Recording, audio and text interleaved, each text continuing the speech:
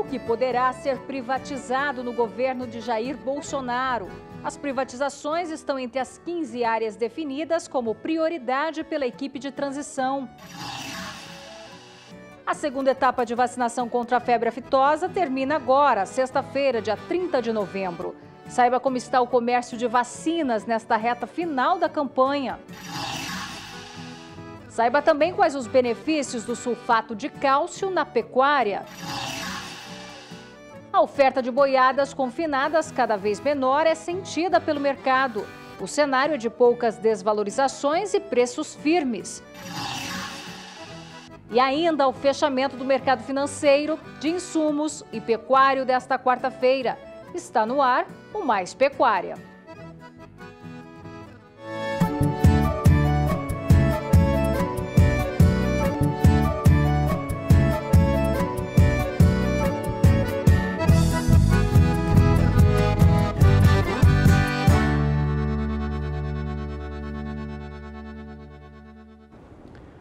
Agora, 5 horas e 59 minutos, começamos o Mais Pecuária com informações sobre tecnologia de produção. Cresce o interesse da pecuária e também da avicultura pelos benefícios do sulfato de cálcio, mais conhecido como gesso agrícola pré-seco.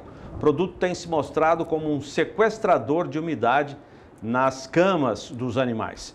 Do Rio Grande do Sul, a repórter Annelise Nicolodi explica como funciona. Os benefícios do uso do sulfato de cálcio na agricultura já são comprovados.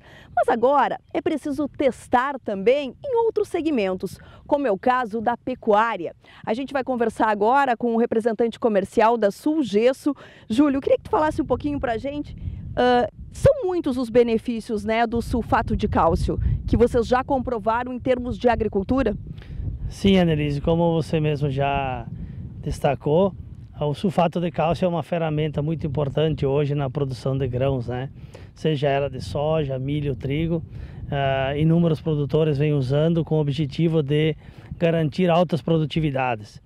E o sulfato de cálcio é uma ferramenta fantástica quando nós pensamos em, em preservar o solo, dar condições para que esse, eh, esse solo nos dê uma boa produtividade em termos de grão. Então, como a gente diz, o solo é o nosso maior patrimônio, precisamos que, cuidar dele, né? E outros segmentos também vêm vem mostrando uma grande necessidade de, de uso de, de ferramentas que garantam produtividade, né? Pensando em produção de, de carne ou de, ou de leite. Né?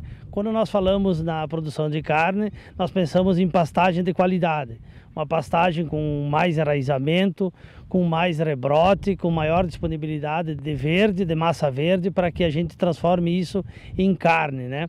Além do NPK, que nós somos acostumados a, a usar como fonte de nutrientes, o cálcio e o enxofre são muito importantes para isso. Tá?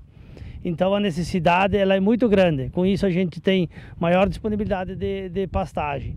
Quando nós também entramos no segmento de produção de leite, a gente observa também isso, porque você precisa ter uma pastagem de qualidade, uma pastagem enriquecida. E uma pastagem enriquecida ela vai dar maior quantidade de oferta de, de pasto para o animal. Tá? Mas também a gente tem percebido uma boa oportunidade para o produtor é que é na produção de leite, quando ele trabalha com o sistema de compost bar, onde nós temos alguns problemas, por exemplo, de umidade. E essa umidade interfere na qualidade do animal, que consequentemente vai interferir na produção de leite. Com o uso do sulfato de cálcio, ah, que é uma fonte de cálcio em enxofre, nós temos percebido que usando ele no compost bar nós sequestramos essa umidade, né? Com isso o problema de casco do, do, gado de leite ele é reduzido, ah, o animal fica mais disposto, vamos dizer assim, fica mais livre para pensar em produzir ah, e ofertar o leite que é o que a gente quer. Então a gente tem uma segurança muito grande.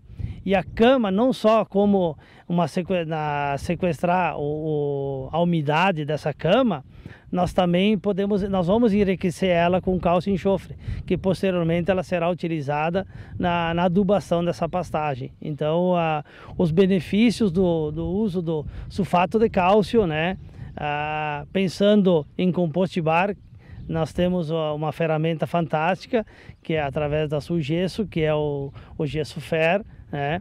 Para que a gente possa então uh, trazer uma segurança melhor para os animais e transformar isso em ganho de leite por, por animal. A gente já tem algumas propriedades uh, em outras regiões que vem utilizando e que num espaço curto de tempo já se teve um ganho de 2 litros animal dia, chegando até 10 litros, apenas manejando o compost bar. Então eu volto a enfatizar a, a grande necessidade que a agricultura tem hoje em ser altamente produtiva tá? e também reduzindo seus custos. Ah, então, essa ferramenta de uso de sulfato de cálcio, ela tem proporcionado ao produtor ganhos uh, consideráveis em termos de produção de leite. Ou seja, um custo-benefício que vale a pena. Com certeza, nós temos certeza absoluta que o, o custo-benefício é muito grande quando nós usarmos essas ferramentas em termos de produção de leite. É, dando sequência à pecuária leiteira, durante a maior feira de gado leiteiro do mundo realizada na cidade de Madison, nos Estados Unidos, a Cemex levou um grupo com 10 clientes para conhecer o trabalho desenvolvido pela empresa. Veja como foi a visita. Maior feira de gado leiteiro do mundo o destino garantido da genética da Cemex todos os anos. A World Dairy Expo acontece em Madison, nos Estados Unidos. Para mergulhar nesse universo do supra-sumo leiteiro, a empresa levou este ano um grupo de 10 clientes Cemex Progressives.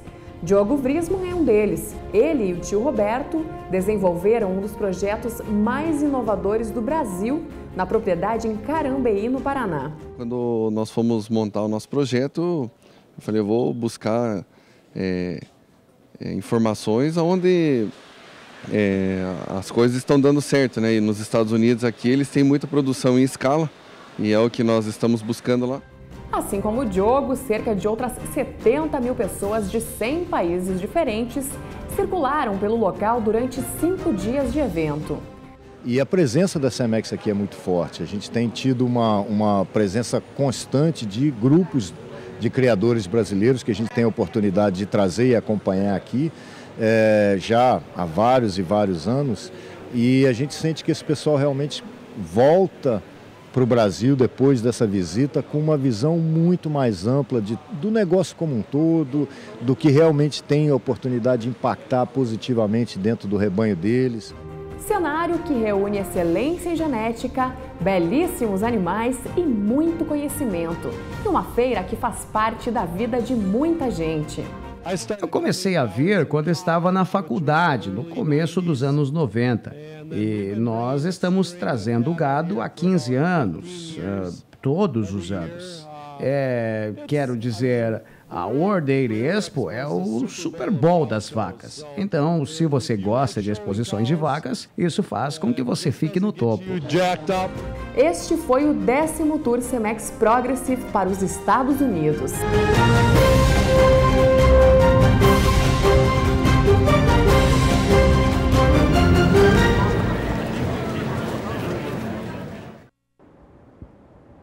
Agora, a previsão do tempo, ainda temos muitas nuvens carregadas no norte do país. Vamos falar agora com a Maria Clara Sazá, que tem mais detalhes da previsão do tempo para o centro-norte do país para os próximos dias, não é mesmo, Maria Clara? Boa noite para você.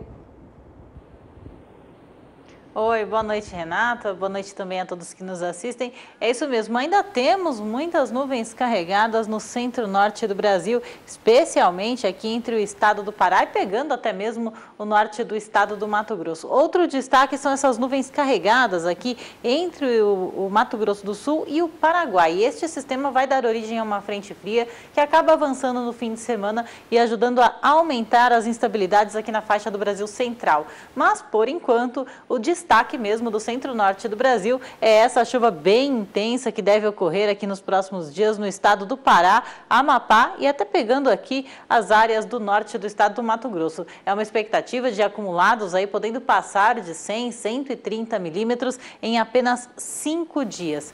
No segundo período, Renata, entre 4 e 8 do mês de dezembro, a chuva fica bem distribuída aqui nesta faixa que vai do sul da Bahia até o interior da região norte, com volume volumes ainda bastante significativos, mesmo que não tenhamos aí os 130 milímetros acumulados, é, ainda temos uma condição para uma chuva bem expressiva aqui neste período até o dia 8 do mês de dezembro. É uma chuva com volumes aí podendo alcançar até 100 milímetros acumulados em cinco dias. Depois disso, entre 9 e 13 de dezembro, a chuva perde intensidade nesta faixa e começa a migrar para a região mais ao sul do Brasil, ou seja, temos um corredor de umidade aqui a partir do dia 9 do mês de dezembro, mantendo as instabilidades e voltando a provocar chuva em Minas Gerais, Goiás e também no estado do Mato Grosso. Renata? Tá certo, Maria Clara. E para as demais áreas do país, como fica?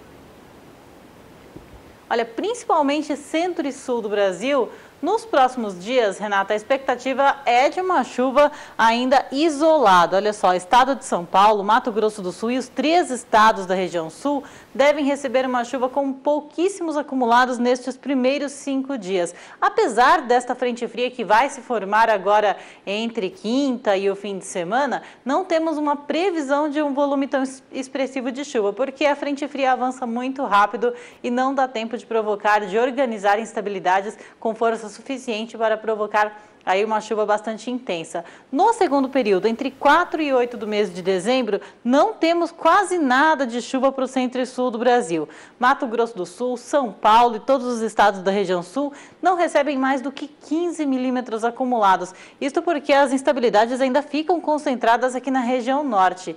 E depois disso, entre 9 e 13 de dezembro, é que a chuva vai começando a migrar aqui para a região sul do Brasil e voltando a ganhar intensidade no Rio Grande Grande do Sul, depois do dia 15 do mês de dezembro. Então, antes disso, antes da primeira quinzena, aliás, antes da segunda quinzena do mês de dezembro, não temos é, previsão de uma chuva significativa, principalmente no estado gaúcho. Deve chover com mais frequência no estado do Paraná, mas o Rio Grande do Sul só volta a receber uma chuva significativa depois da metade do mês, da metade do mês de dezembro. Renata.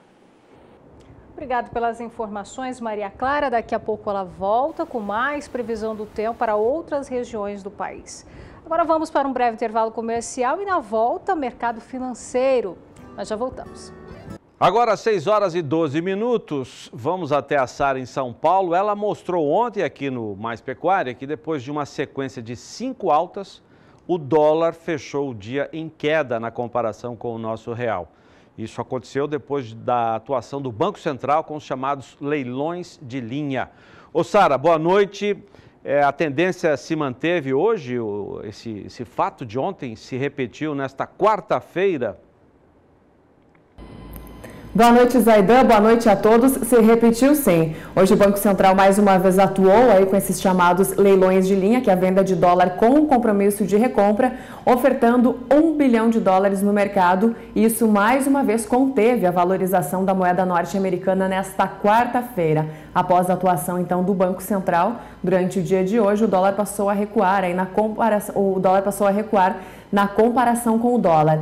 E esse recuo, essa queda da moeda norte-americana, ganhou ainda mais força depois que o presidente do Federal Reserve, Banco Central dos Estados Unidos, deu indícios de que a elevação de juros no, na maior economia do mundo, nos Estados Unidos, ela deverá ser mais suave. O mercado aguardava aí cinco novas altas de juros nos Estados Unidos até o início de 2020. Depois do anúncio dele, então, a queda do dólar na comparação com o real ficou mais intensa e o dólar hoje também cai frente a uma cesta de moedas. A desvalorização do dólar nesta quarta-feira na comparação com o nosso real é de quase 1%, já depois da queda de ontem, que foi bem significativa também. E com isso, o dólar comercial encerra esta quarta-feira no patamar dos R$ 3,84. Lembrando que no início dessa semana a gente viu o dólar aí acima dos R$ 3,90. Então, hoje, pelo segundo dia seguido, o dólar tem recuo na comparação com o real.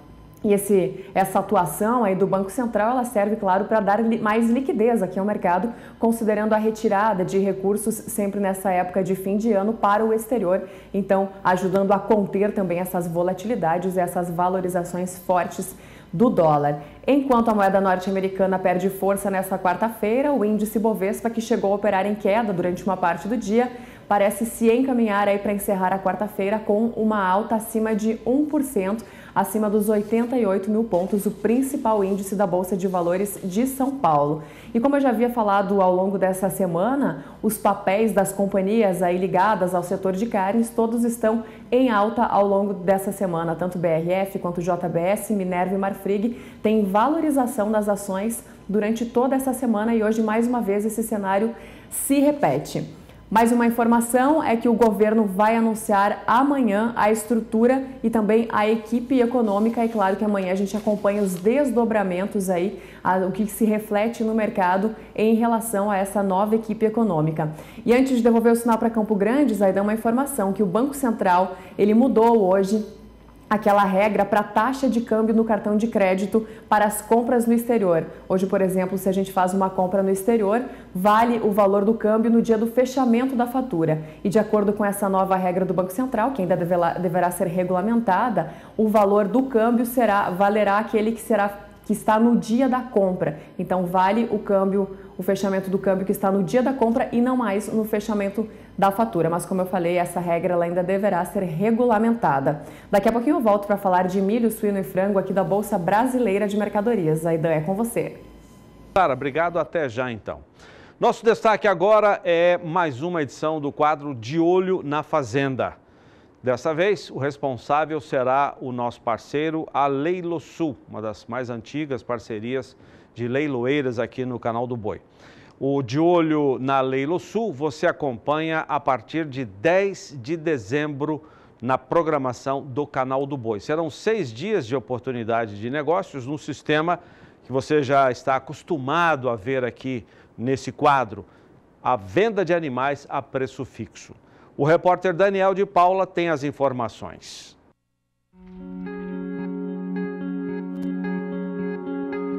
A Leilo Sul e o SBA transformaram em uma grande realidade a novidade implantada em outubro como alternativa para a comercialização de animais produzidos na região conhecida como capital do bezerro precoce e do cruzamento industrial.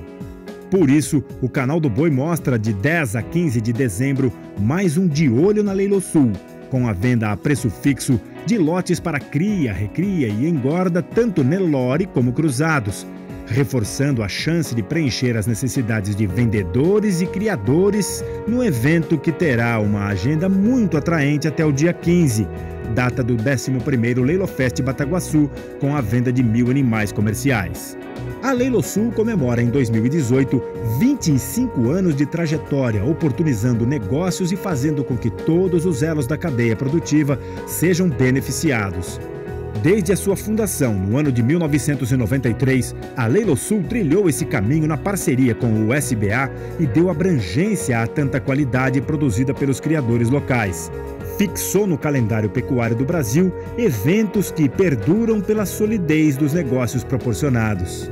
É assim no leilão precoce total, que já passou dos 20 anos e acontece sempre em abril. O Leilão Sul no agronegócio, que já vai para sua nona edição no meio do ano como uma verdadeira exposição agropecuária da região. E os leilões organizados semanalmente com a fidelidade de transmissão pelos canais do SBA. Dentro do De Olho na Leilo Sul, um evento especial está marcado para quinta-feira, dia 13, a partir das 8 da noite, com transmissão pelo canal do Boi. É o leilão liquidação de plantel Nelore Gram, que vai vender 400 cabeças de todas as categorias entre vacas paridas, novilhas e touros criados a partir de uma genética PO e POI que se une com a modernidade do Nelore selecionado em Brasilândia. No dia 15, sábado, a partir do meio-dia, o encerramento da Semana Leilo Sul será o 11º Leilo Fest Bataguaçu, leilão que terá a venda de mil animais comerciais da região. Mas é a partir do dia 10 que a Leilo Sul e os criadores locais se comprometem a vender durante todos os programas do Canal do Boi o melhor de uma genética de resultados que todo mundo quer e precisa. De olho na Leilo Sul, de 10 a 15 de dezembro, somente pelo SBA. O pecuarista José Bezerra ressalta a importância da parceria que ele tem com a Facholi há 18 anos. Realmente eu sou um cliente já aí da década de 2000, logo que o Fatioli começou no sal mineral. Eu passei a ser cliente deles, já era cliente deles na parte de sementes. e temos uma parceria muito salutar e muito produtiva. Eu visitei, eu fazia anos que não vinha aqui a Fatioli, aproveitei a vinda a esse leilão para dar um, uma esticada até Santo Anastácio e a cidade onde eles têm a sua indústria, que para surpresa minha está magnífica, não só o seu parque industrial, como a tecnologia que eles têm aplicado na, na, na, no sal mineral, fazendo experiências muito proveitosas a campo. Isso me deixou muito bem impressionado.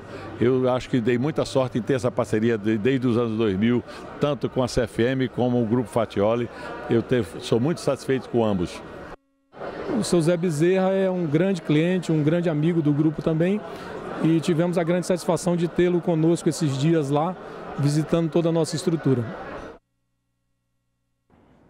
Agora, 6h23 no horário de Brasília, estou aqui com o Arder Campos, já se preparando para o Na Batida do Martelo, logo depois do Mais Pecuária. Mas a, ah, ele está aqui para falar de uma novidade. Pela primeira vez na história do canal do Boi, que já está chegando a 30 anos, não é, Éder? Nós vamos ter um leilão de facas. E que facas? E você é um colecionador de facas e vai trabalhar nesse evento também, Éder. Conta pra gente essa novidade aí. Olá, Zaidan. Olá, os amigos que nos acompanham. Para mim vai ser muito fácil, né? Primeiro porque eu gosto muito da arte da cutelaria, sou colecionador realmente de facas. E o canal do Boi, o SBA, traz essa novidade. Primeiro leilão de cutelaria aqui do SBA. E são verdadeiras obras de arte que você vê aí no vídeo. Né? Olha que faca maravilhosa, são facas de, de, de vários tamanhos, né? que, mas o, o, o, que chama a atenção dessas facas, Aidan, é o aço, aço damasco, né? que é um aço bastante desejado, não é um, um, um trabalho fácil de se fazer, por isso são peças raras, são peças que têm o cabo trabalhado em osso, em osso de chifre, madeira e metal. As bainhas todas em couro, né, com detalhes que o colecionador realmente gosta, porque são muito bonitas, são obras de arte verdadeiras, raríssimas, preciosidades, que você, assim como eu, que é apaixonado por cutelaria ou por facas, terá a oportunidade no próximo dia 4 de dezembro, pelo canal do Boi, às 20h30, de dar lance em facas como esta que você vê aí no vídeo. Quantas facas você vai apresentar, Éder? Zaidan, é, inicialmente nós temos aí mais de 200 facas à disposição. Do, todas nesse nível? Todas nesse nível. São, são vários tamanhos, né? Uhum. São facas de, de 30, 40 centímetros, 60 centímetros de lâmina, né? com o cabo trabalhado, como nós já falamos, ou em osso, em, em chifre, né, o osso de chifre, madeira e também é, com metal. Ou seja, são raridades, são facas que não estão né, no mercado, comumente as pessoas não encontram essas facas no mercado. E para quem gosta, né, pode utilizar como coleção, porque tem aquelas pessoas que compram e não usam, compram somente para apreciar. Uhum. Tem facas que também são é, para aquelas pessoas que gostam de fazer um churrasco, facas bem afiadas, com lâminas resistentes e, e, aqueles que gostam também de usar a faca num camping ou numa pescaria ou de presentear os amigos. Portanto, é, é, um é uma grande oportunidade. Presente, Pensando no Natal que está chegando Ué. agora, né, o Natal está aí. Onde é que essas facas são produzidas? Elas são produzidas na Europa, né, não são facas produzidas no Brasil, são facas importadas né, que são de, de, grandes cuteleiros que produzem essas facas e colocam à disposição dos colecionadores. Né? Todas Isso, são importadas? Todas importadas. Uhum. Todas importadas de, de, de, cuteleiros que são reconhecidos pelo trabalho que realizam. Olha que faca bonita. É uma faca um, que nós chamamos de combate. Né? Essa o, lâmina, ela tem uma... É, é por isso que é isso? Ela é, é uma aplicação de Não, algum... na verdade são as dobraduras do aço. Ah. Quando o cuteleiro está fazendo, ele faz dobras no aço e aí chega é, nesse desenho que você vê. Essa, esse formato ou esses desenhos que você vê são conhecidos como aço damasco ou damasquino. Hum. Né, que é uma característica dessa faca por conta das dobras que o cuteleiro, durante o processo da forja, ele vai produzindo. Então, são, são aços, assim, ele faz é, normalmente mais dobras do que o normal, quatro, oito dobras. O, o Éder, você se estivesse em casa, fosse um telespectador, iria participar dando lance no leilão. Como é que é esse mercado? Tem muitas pessoas como você no Brasil que Tem. gostam, que apreciam e colecionam facas? É, você falou né, a, o ponto-chave, colecionadores. Né, são para pessoas que gostam da faca, da cutelaria e que colecionam. Mas só para esse nicho de pessoas? Não.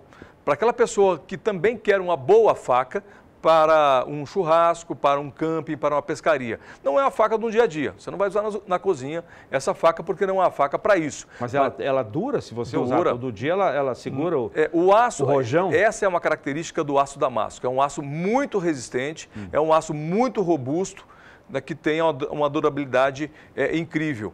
Né? E outro detalhe dessa, dessas facas é, são os designs. Ou, ou, ou, são vários designs que você vê aí, né? de cabos exclusivos. Designs? Exclusivos, exclusivos. Você não vai encontrar essa faca no mercado né, com, esse, com esse design é, de maneira comum. Né? É somente é, esses cuteleiros que fabricam essa, essa faca é que colocam no mercado. Muitas delas uhum. não têm um, um segundo modelo. Eu não tenho um segundo modelo. É um modelo exclusivo. Faz a forma e não repete. E não repete, porque não é fácil. Essa faca aí, ela já não é um aço damasco, é uma faca lisa, né? Que a gente. É, olha o cabo dela. Olha, trabalhada em madeira com detalhes em metal. Por sinal, é uma faca muito bonita. É uma faca que. Ela, ela, ela tem o fio dela um pouco mais fino do que o normal. É uma faca que, para quem vai fazer um. Isso é para quê? Um peixe. Seria. Ah, ah para peixe? Ela, ela, ela é versátil. É uma faca bastante versátil. Pode ser uma faca para cortar carne num churrasco e pode ser uma faca para também trabalhar com peixe, porque ela é bem fina. A faca uhum. para trabalhar com peixe é uma faca mais fina. Mas eu, eu, ainda insisto naquela pergunta. Tem muita gente como você que gosta Isso. e coleciona facas no Brasil? Vou, é, tem, tem sim. Tem várias pessoas. Aqui em Campo Grande mesmo, eu faço parte de um grupo de mais de 100 pessoas que colecionam facas aqui e que nós trocamos informações e também fazemos é, venda de facas um para o outro. Às vezes tem uma, alguma faca que eu não tenho e eu quero, nós compramos uns dos outros. Fazemos essa, essa confraria né, das facas. E isso é recorrente no Brasil. Embora as pessoas encontram por aí é, na internet para comprar algumas facas, mas essas são diferentes porque são facas exclusivas, com aço de primeira qualidade. Né? Olha que faca tem, maravilhosa. Tem Essa é uma faca menor, hein? faca condição de, 20... de, pagamento esse, esse leilão, Éder? Bom, é, ainda nós não definimos a condição de pagamento, mas com certeza terá uma condição especial para o interessado. Essa informação eu vou trazer logo mais no programa Na Batida do Martelo. A gente está finalizando. Na verdade, Adriano, você está recebendo em primeira mão a informação, viu? Opa! É, primeira mão aqui no Mais Pecuária, a gente não entraria com você para falar desse leilão, mas ah, como já está bem em cima do, do evento... Dia 4 é uma terça-feira, terça, né? É, a outra já semana. semana que vem, já. Semana que semana vem, terça-feira. Está muito em cima. Então, nós resolvemos entrar aqui no seu programa pedindo esse espaço, porque é uma novidade. Então, a gente traz para cá, para o programa, né, em primeira mão, esse primeiro leilão de cutelaria aqui do SBA. Legal. Batida daqui a pouco? Daqui tá a pouquinho, já já. Pronto, Isso. Certinho. Daqui uma hora eu entro no ar. Obrigado. Tá certo? Sucesso para você. Vou reservar uma para você. Pode? Você quer escolher a sua depois? Pode, vamos. você vou, vai gostar. Vou fazer uma sociedade com a Renata e vamos arrematar uma faca. Ela fica com o cabo e você fica com a lâmina, tá certo? Não, fica de presente para ela. um abraço aí, Dan. Até mais. Obrigado, Éder. Até mais. Sucesso daqui a pouco. Intervalo comercial, já voltamos.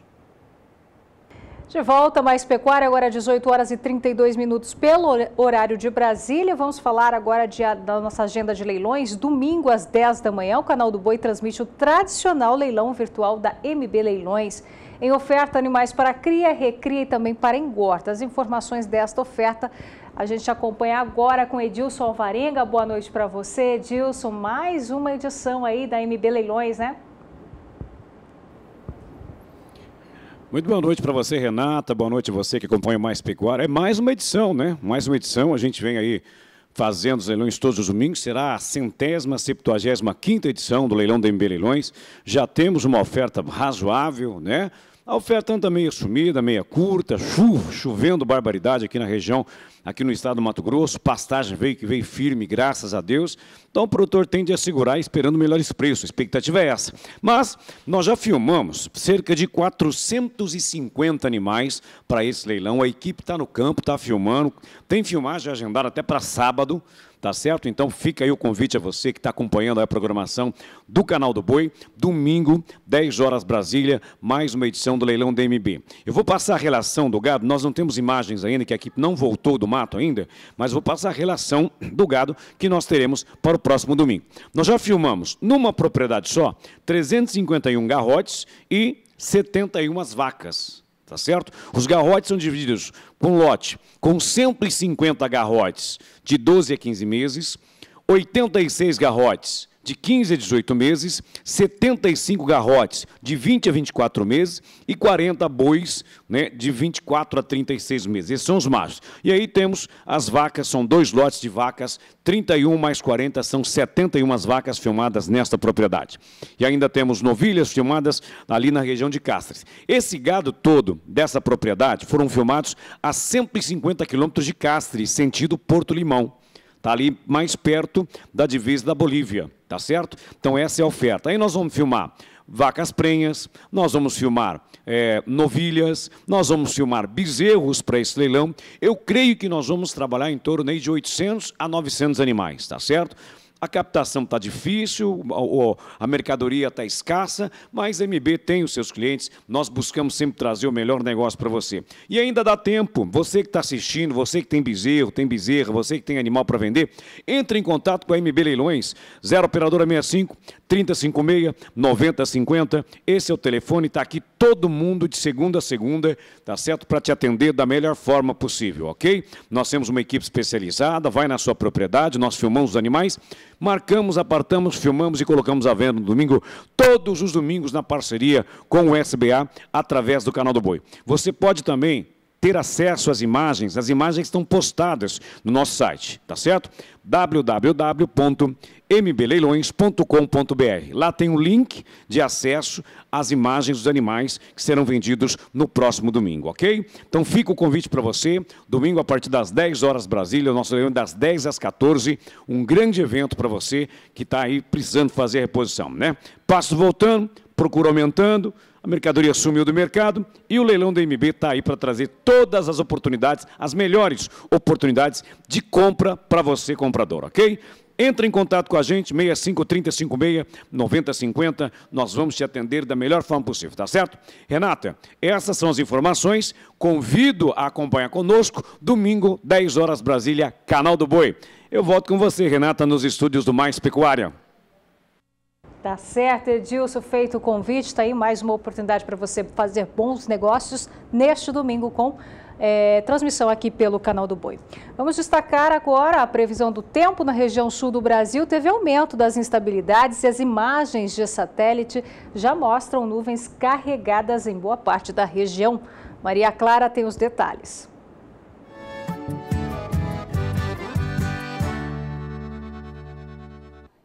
As imagens de satélite mostram nuvens carregadas na região do Mato Grosso do Sul e estas instabilidades vão dar origem a uma frente fria que pode até trazer volumes significativos para a região sul do Brasil. No entanto, é uma chuva que deve ser passageira. Ela forma frente fria, traz instabilidades e já no decorrer do fim de semana não tem previsão de chuva volumosa. Os índices de água no solo ainda estão elevados entre Santa Catarina e o estado do Rio Grande do Sul e no Paraná temos uma condição de valores menores de umidade no solo. Para os primeiros cinco dias, a chuva deve ser significativa apenas nestas áreas aqui mais escuras do mapa. Nas demais regiões, a expectativa é para pancadas de moderada a forte intensidade, com potencial até mesmo para uma chuva que venha de forma volumosa, mas é uma chuva pontual, porque a frente fria avança muito rápido pela região sul do Brasil. Entre os dias 4 e 8 do mês de dezembro, seca bastante no interior gaúcho e a chuva fica mais concentrada entre o norte do Rio Grande do Sul e o estado do Paraná, com acumulados que passam dos 5 milímetros. No terceiro período, entre 9 e 13 do mês de dezembro, volta a ganhar força, a chuva volta a ganhar força entre Santa Catarina e a divisa com o estado paranaense, mas não há condições para um volume tão significativo, apenas 30 milímetros em cinco dias. E nas demais áreas da região, os acumulados são ainda menores, podendo ficar em torno de 15 milímetros.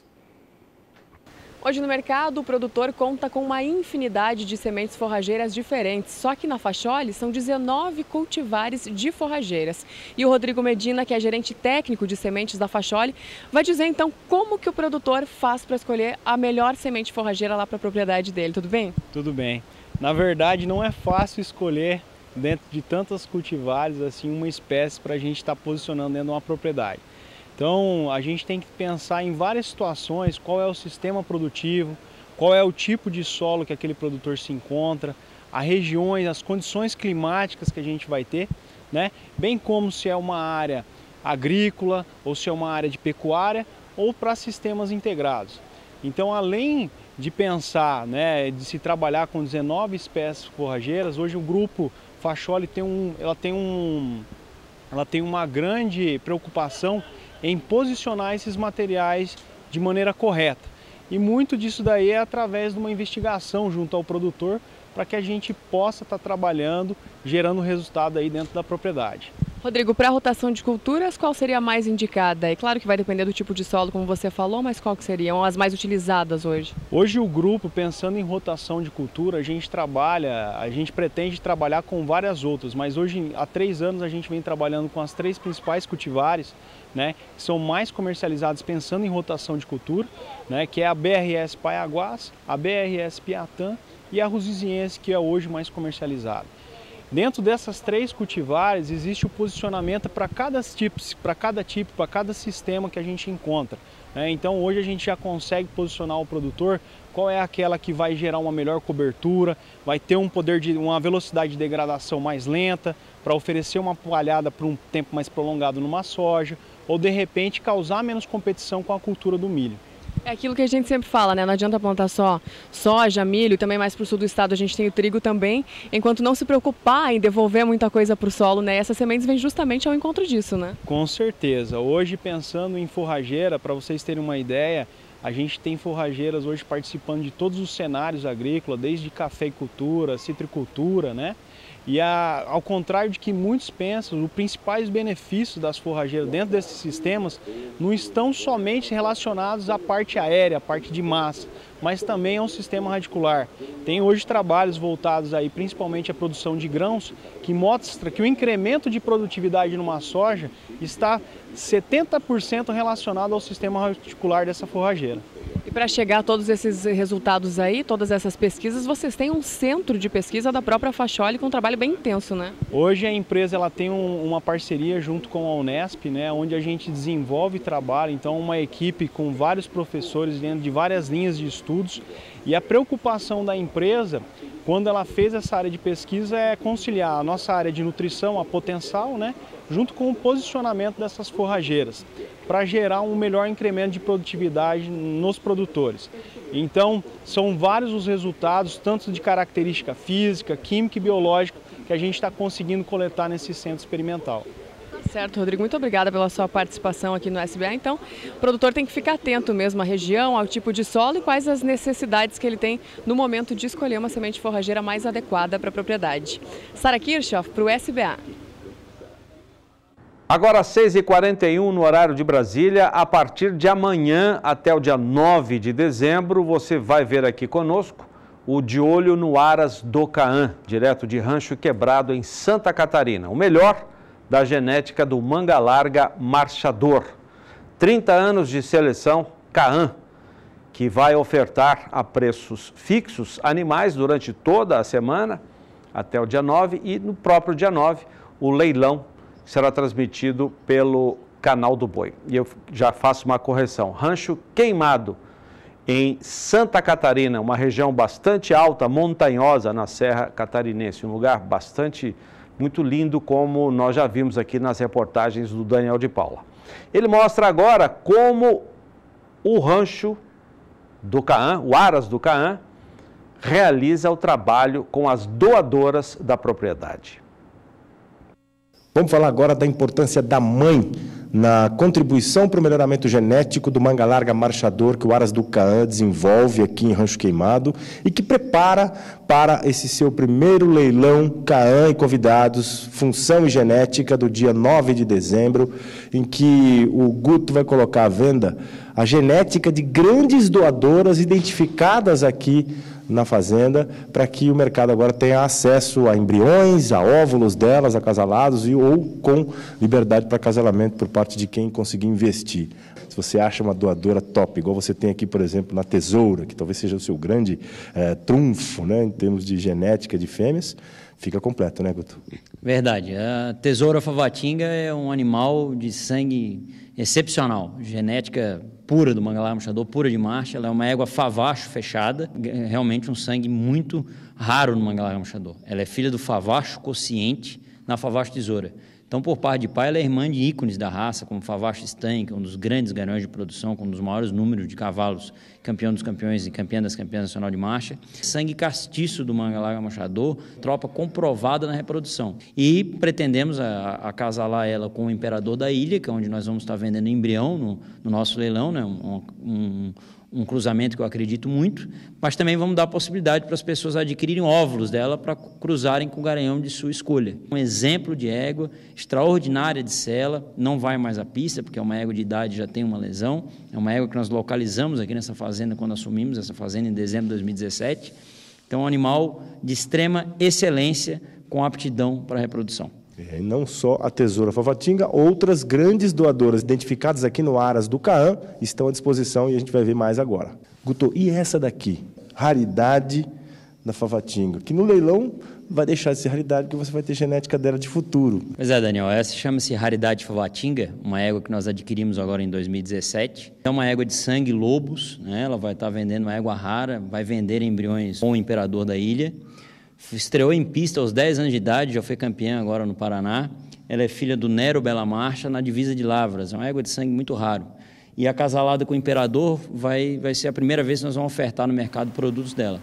É uma das nossas principais doadoras pela qualidade de marcha, morfologia e principalmente pelo sangue raro, que é esse sangue lobos que o Manga Larga Machador preza tanto por causa da qualidade de cela. E tem, Guto, essa moça aqui, que é uma moça, mas é a moça do Porto Palmeiro que é uma das atrações também do leilão e que tem uma importância dentro do Manga Larga Marchador, que você fala, queria que você falasse um pouquinho sobre o currículo e sobre a capacidade que ela tem de passar para suas progênitos e a oportunidade do leilão. Né?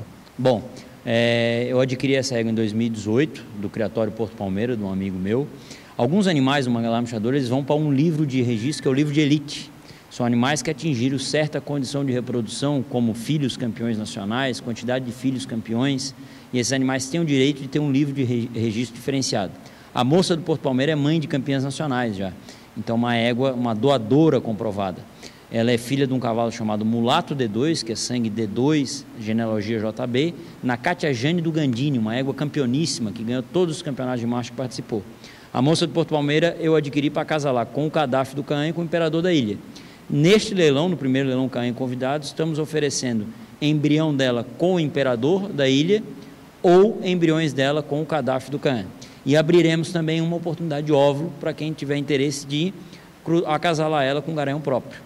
Essa é uma égua já de idade, tem, tem 18 anos, eu adquiri ela com 18 anos, mas pela condição de reprodução comprovada dela, ela é uma égua que vai trazer para o Aras do Cã muita descendência, muita família e um futuro promissor nos animais para serem acasalados entre os nossos garanhões. Se for o embrião transferido já ou a transferir, sendo dessas três grandes éguas doadoras de um Aras referência genética no Brasil, como o Aras do Caã.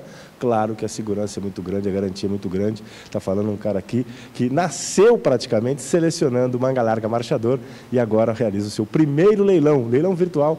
Caã e convidados, função e genética somente aqui pelo SBA, dia 9 de dezembro, imperdível. Daniel de Paula para o SBA.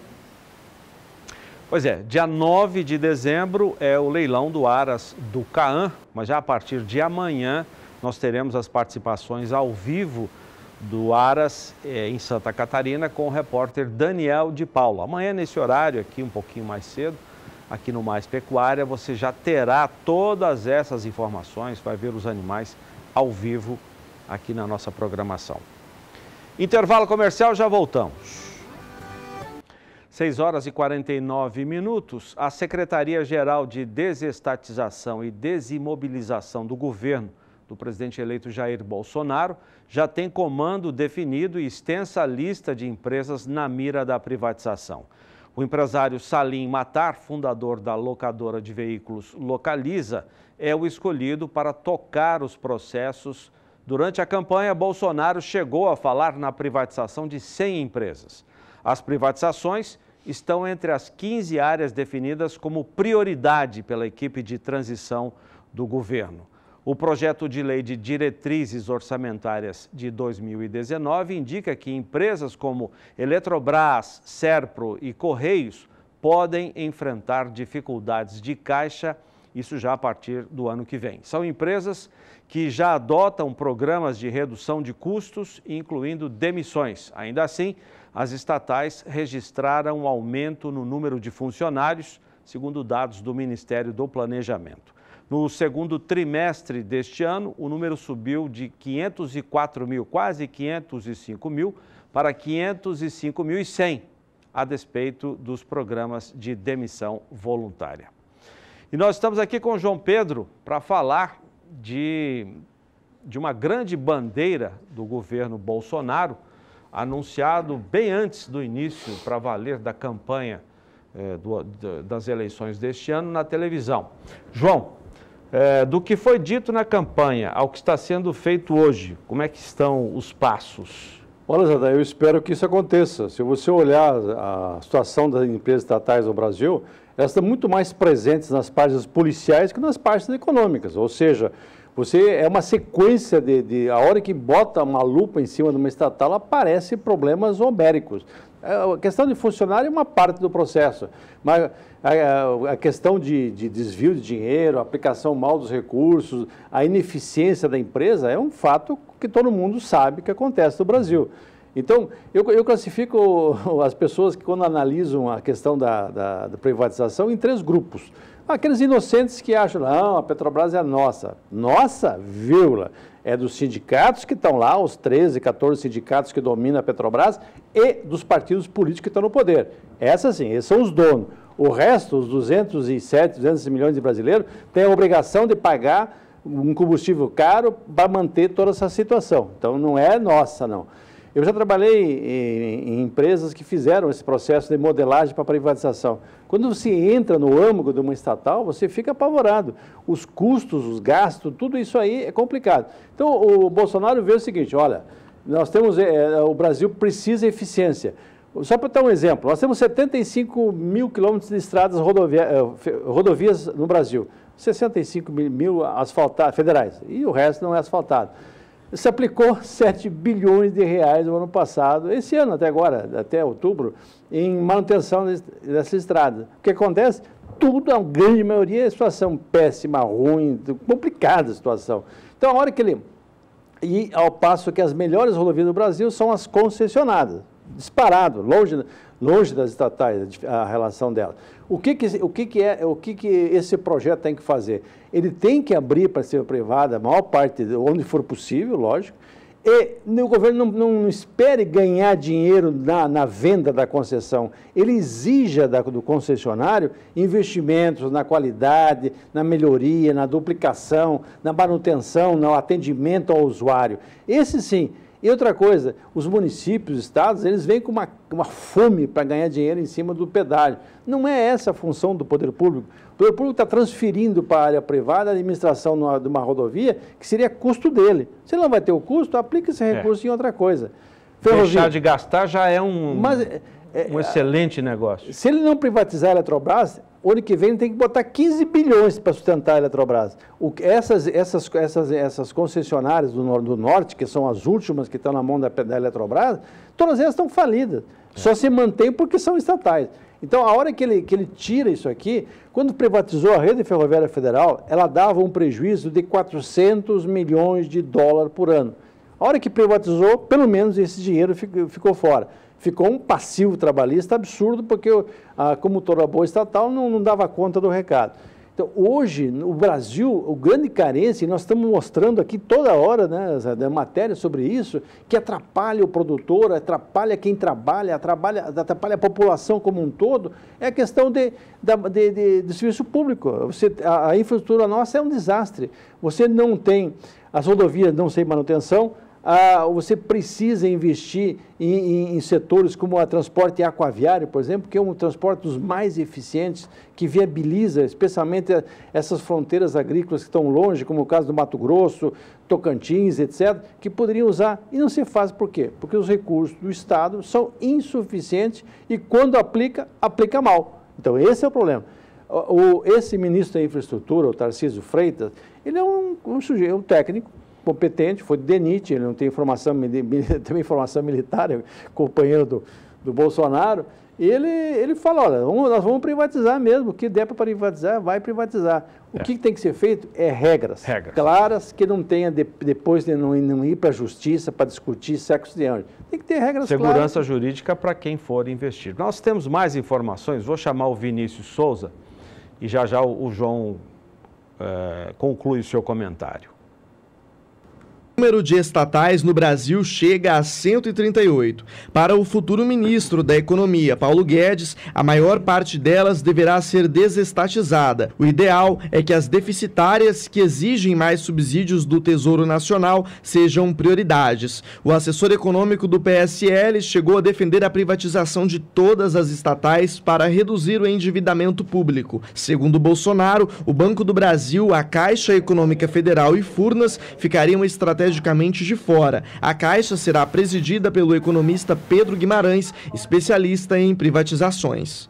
O projeto de lei de diretrizes orçamentárias de 2019 indica que empresas como Eletrobras, Serpro e Correios poderão enfrentar dificuldades de caixa para o ano que vem. São empresas que já adotam programas de redução de custos, incluindo demissões. Ainda assim, as estatais registraram aumento no número de funcionários, segundo dados do Ministério do Planejamento. No segundo trimestre deste ano, o número subiu de 504,9 mil para 505,1 mil, a despeito dos programas de demissão voluntária. Conforme o Estado de Minas, a equipe de transição defende que a Eletrobras deve ser a primeira no processo. A projeção é que a receita para a União chegue a 12,2 bilhões. A Eletrobras adiou para o próximo dia 10 de dezembro o leilão da privatização da Amazonas Energia. A Assembleia Geral Extraordinária da estatal definiu que, caso não seja vendida, a empresa poderá ser liquidada em 31 de dezembro deste ano. A empresa brasileira de comunicação, empresa de planejamento e logística, empresa de tecnologia e informações da Previdência Social e a de engenharia, construções e ferrovias encabeçam a lista de empresas que podem ser vendidas. Ainda segundo o estado de Minas, 18 companhias dependem de repasse do governo federal, consumindo cerca de 15 bilhões por ano. Também durante o período de campanha, Paulo Guedes usava como estimativa a arrecadação de um trilhão para o governo federal, levando em consideração a venda de todas as estatais. O discurso de um trilhão não foi retomado pós-eleição. A responsabilidade de projetar esse valor passa a ser da Secretaria-Geral de Desestatização e Desimobilização. Ô João, um trilhão seria um, um, um dinheiro que poderia é, resolver muita coisa. Tem interessados em, em investir nas estatais brasileiras? Regra Começando pela Eletrobras. A regra geral tem, né? porque essas empresas elas são tão déficits, tão deficitárias, porque são mal administradas, que usa a classe política, usa como cabide de emprego, usa para fazer maracutaia com empreiteira, etc, etc. Então isso aí acontece isso mesmo. Agora, a hora que entra uma empresa séria, uma empresa séria no comando dela, quando foi privatizada a Vale, você lembra da privatização da Vale? A Vale era a joia da coroa. Não, essa empresa é bem administrada.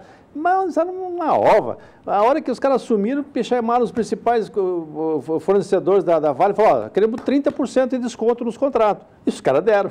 Onde que ia os 30%? Sei lá.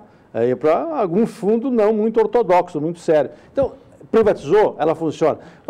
Você lembra quando saiu a telefonia celular no Brasil? Era um privilégio ter um tijolão daqueles, mas tinha para arrumar, tinha que, ser, tinha que ter padrinho nas estatais. Hoje não, hoje democratizou. Todo mundo tem acesso a um celular. Por quê? Porque uma empresa, há uma disputa de mercado entre as empresas privadas para oferecer esse serviço. O que tem que ser feito é regras claras. Ferrovia, por exemplo, que é um negócio fundamental para o Brasil, nós precisamos de melhorar o sistema ferroviário. Nós temos que, eh, as empresas são atuais concessionárias, elas, elas têm programas de ampliação de investimento. Tudo bem, só que não, em, 8, 9 anos não consegue é, conseguir retorno do capital. Então tem que ampliar o processo de concessão. Porém, amarrar por exemplo, nas ferrovias, das ferrovias, amarrar a figura do operador ferroviário independente, que existe na Europa, existe nos Estados Unidos, ou seja, empresas que vão pagar para a concessionária o uso da, da, da, linha e vão operar, vão transportar carga, container, tudo que tiver condição de fazer. Elas vão melhorar, porque senão fica um monopólio, troca o monopólio estatal por um monopólio privado. Que muitas vezes não, não, não vai funcionar para atender a, a, como, como precisa o país. Vai atender um grupo, seja minério, seja alguma outra coisa qualquer. Então nós temos que fazer isso. E eu acho que botando gente competente, o próprio o BNDES, ele sempre ocupou um papel fundamental no processo de desestatização, no sentido de ah, alavancar recursos para financiar parte do processo na mão do Levi, é um cara sério. É um sujeito que passou no governo da Dilma e não, e não foi respingado pela essa lama que aconteceu no resto do governo dela. Então, esse é um cara sério, é um cara que tem experiência internacional, busca investir. O Brasil é um país que vai ser o grande fornecedor de alimentos para o mundo. É um grande fornecedor de energia também. São setores que vão atrair investimentos, não tenha dúvida Como é que nenhuma. está o interesse do, do, do capital estrangeiro nesses investimentos? desde que haja. É só tu olhar os, os, aeroportos brasileiros que foram, que foram leiloados agora, depois que ele deu uma, a Lava Jato deu uma limpada naquelas empreiteiras que, que comiam no, no prato da, da, da, dona Dilma lá. A hora que ele limpou, veio empresa séria para assumir o comando. E tem interesse. O Brasil é um país que tem tudo para crescer. Nós temos energia, temos terra, temos gente, temos tudo. Falta governo. Agora, parece que está arrumando uma equipe boa. Tomara que dê certo, eu torço para esse cara dar certo, porque o Brasil precisa sair dessa desgraça de recessão, de desemprego, de baixo salário. Nós temos que o país crescer. E, se, e, e, e, a melhor maneira de resolver problemas econômicos é com crescimento, não é com decreto, não é com lei. E a, e a privatização, a transferência de um setor que está na mão do governo, que é deficitário, que é usado como máquina de troca de permuta na classe política, para um setor que vai trabalhar, que vai pagar imposto, que vai gerar emprego, que vai gerar renda, é o, é o caminho. Eu sou é, fã número um desse processo. Obrigado, João. Bom trabalho. Intervalo comercial, já voltamos. Mais pecuária de volta e com lentidão nas negociações, o milho segue com forte alta em Campinas, interior de São Paulo, enquanto registra queda em outras regiões do país. Vamos direto da Bolsa Brasileira de Mercadorias, no centro de São Paulo. A Sara traz agora os números atualizados para esta quarta-feira, tanto do mercado do milho quanto também do suíno e do frango. É com você, Sara. Olá mais uma vez, Renata. É cotação valorizada mais uma vez nessa quarta-feira. Hoje a alta do milho em Campinas e região, aí falando do mercado doméstico, conforme o indicador CPEA, é de 0,75% no dia. E com isso, no acumulado do mês, o milho volta a ter um acréscimo aí acima dos 10%. 10,07% é a alta do milho no acumulado do mês de novembro, que se encaminha aí para o final. Com mais essa alta diária, hoje o preço da saca em Campinas e região interior de São Paulo é negociado por R$ 37,61. O indicador da Bolsa Brasileira de Mercadorias para Rio Verde, Goiás, também aponta para uma alta nesta quarta-feira. A valorização de 1,75% eleva o preço da saca em Rio Verde para o patamar dos 29 reais. Passamos para o mercado do suíno, Renata, que hoje tem uma queda de 0,31% no dia, mas ainda acumula uma alta de 2,21% no mês de novembro. Com isso, hoje o preço do quilo do suíno vivo no estado de Santa Catarina aparece em R$ 3,24. Falando um pouco do mercado de suínos, com os novos focos aí de febre suína lá, lá na China, há uma tendência que o país aumente as exportações para lá. E isso já aconteceu no mês de outubro, quando houve um acréscimo nas exportações de carne suína brasileira em 8,1%, aí falando a nível mundial, e claro que a China teve um importante papel nisso, então existe uma tendência que as exportações elas ainda tenham mais um acréscimo por causa dessa peste suína, desculpa, peste suína africana, que vem atacando a China aí já há algum tempo. Foram 70 focos, mais de 1.600 animais tiveram que ser sacrificados, 86 suínos testaram positivo para o vírus.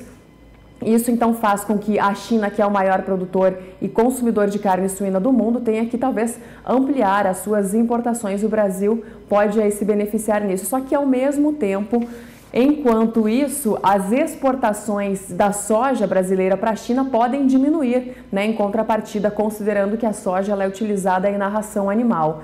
E a China quase duplicou as importações de soja no mês de outubro por causa da disputa com os Estados Unidos e possivelmente esse cenário não se mantenha justamente em função aí de uma menor demanda por causa da peste suína lá na China. Bom, termino com o mercado do frango, que hoje, conforme o indicador CPE aqui para o estado de São Paulo, tem uma queda de quase meio por cento no dia.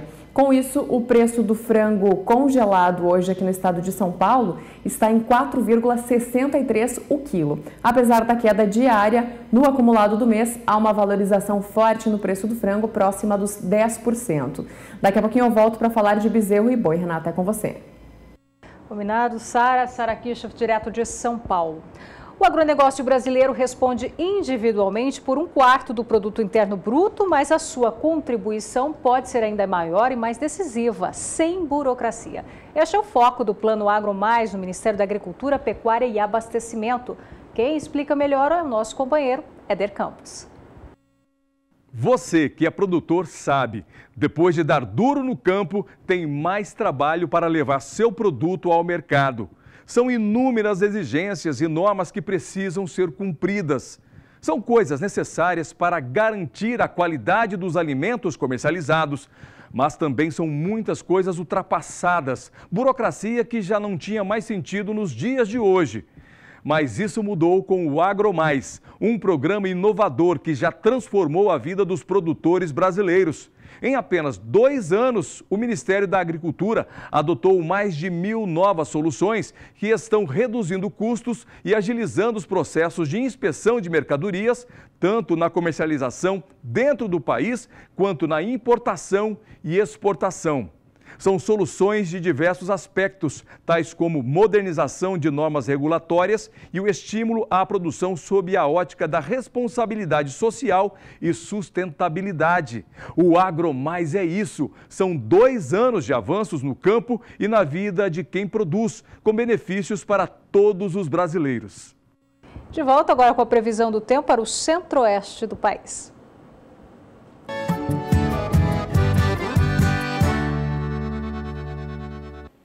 Áreas de instabilidade no centro-oeste do Brasil garantem as pancadas de chuva ao longo dos próximos dias. Além disso, temos a formação de uma nova frente fria entre o Paraguai e o Mato Grosso do Sul, que vai trazer uma chuva volumosa entre quinta e sexta-feira. A expectativa é para volumes bem expressivos, podendo até mesmo aumentar os índices de água no solo que diminuíram pelo estado. Entre Goiás e o estado do Mato Grosso, a condição ainda é para índices bastante elevados, em torno de 90 até 100%. Agora, no primeiro período, entre 29 e 3 do mês de dezembro, a chuva ainda fica mais concentrada entre Goiás e o estado do Mato Grosso, com acumulados chegando a 70 milímetros. Já no estado do Mato Grosso do Sul, os volumes, por enquanto, não são expressivos. A chuva que for mais volumosa, ela ocorre de maneira pontual e, de uma forma geral, o estado do Mato Grosso do Sul recebe 30 milímetros em cinco dias. A partir do dia 4, a chuva segue mais concentrada aqui entre o norte de Goiás e também o norte do estado estado do Mato Grosso, também com volumes bem significativos, e perde intensidade nas demais áreas do centro-oeste do Brasil. E a partir do dia 9, a chuva volta a se espalhar aqui entre Goiás e o estado do Mato Grosso, ainda com volumes entre 50 e 70 milímetros acumulados, e o Mato Grosso do Sul só deve voltar a receber uma chuva mais expressiva depois de meados do mês de dezembro. Obrigada, Maria Clara. Agora vamos falar do Showtech 2019.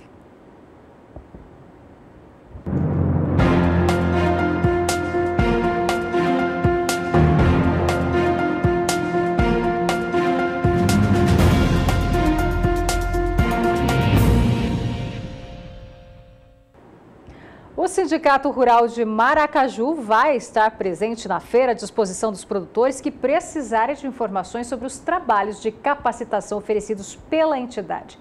Acompanhe mais informações.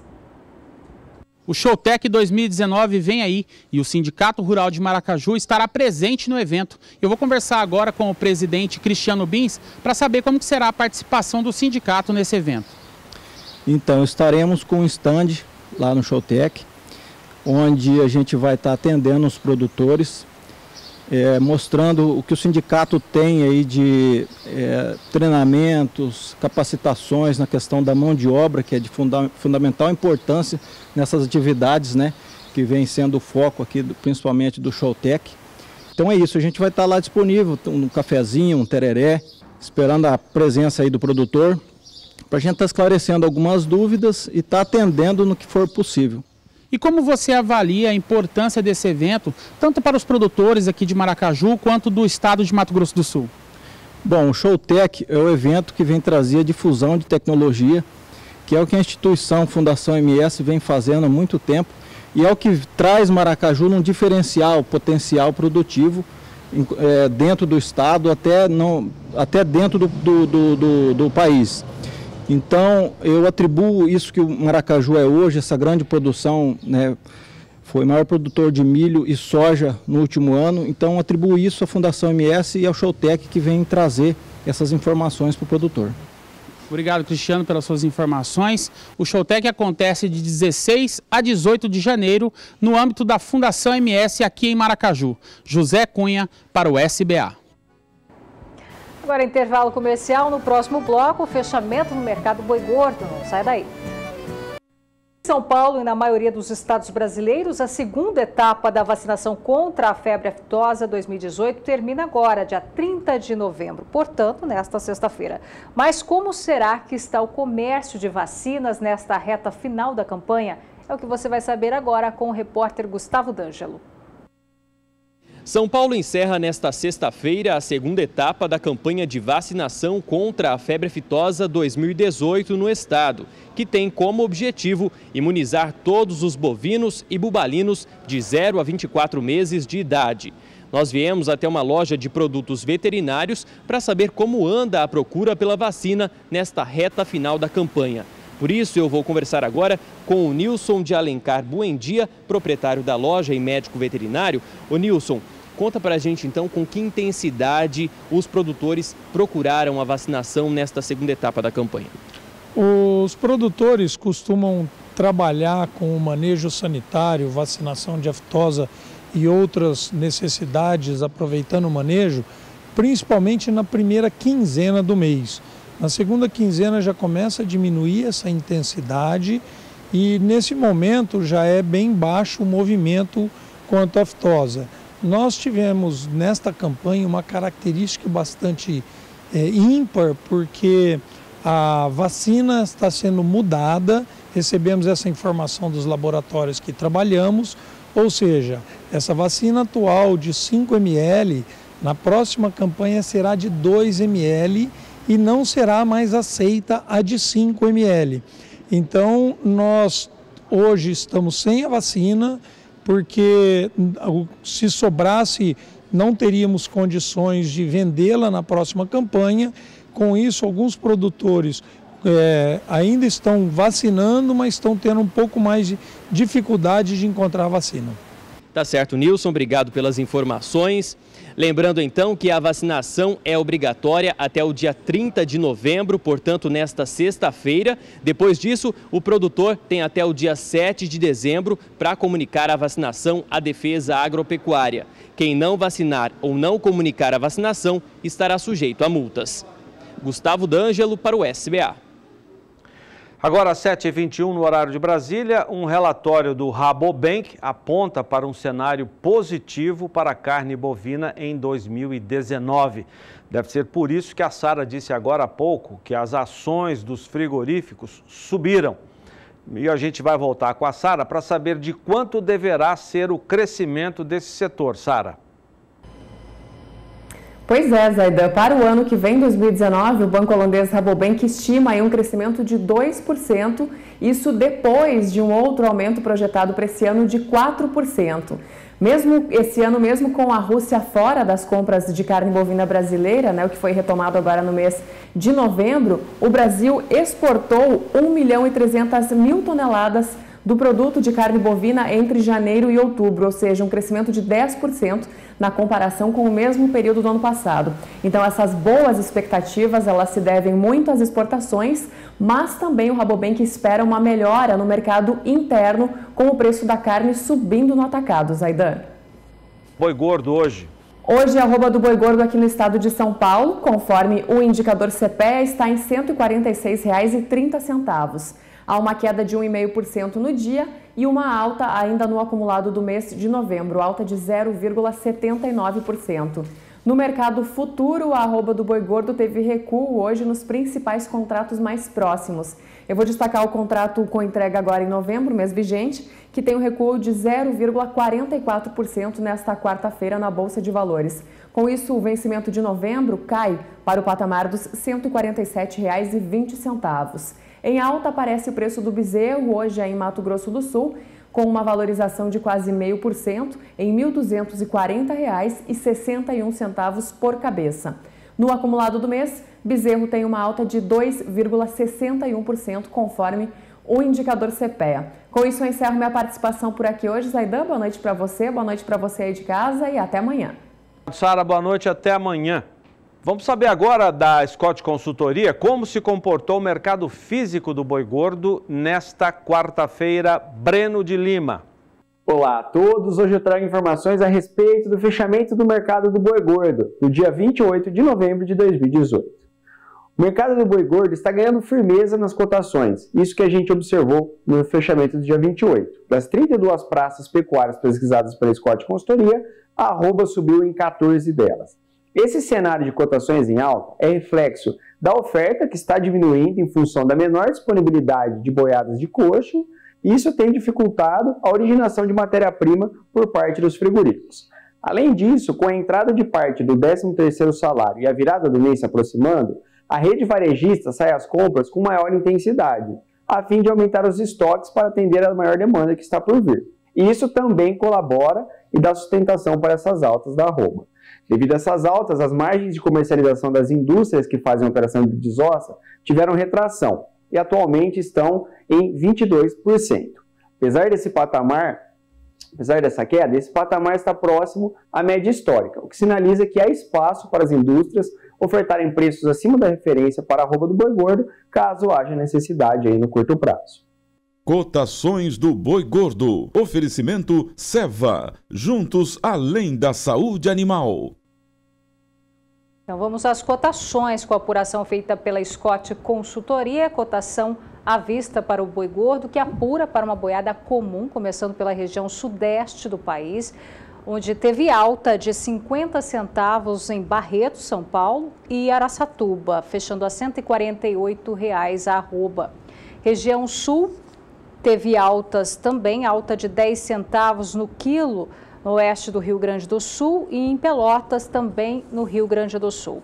Região Centro-Oeste, alta de 50 centavos em Campo Grande, Mato Grosso do Sul, R$ 143,50 e alta de R$ real em Três Lagoas também, aqui em Mato Grosso do Sul.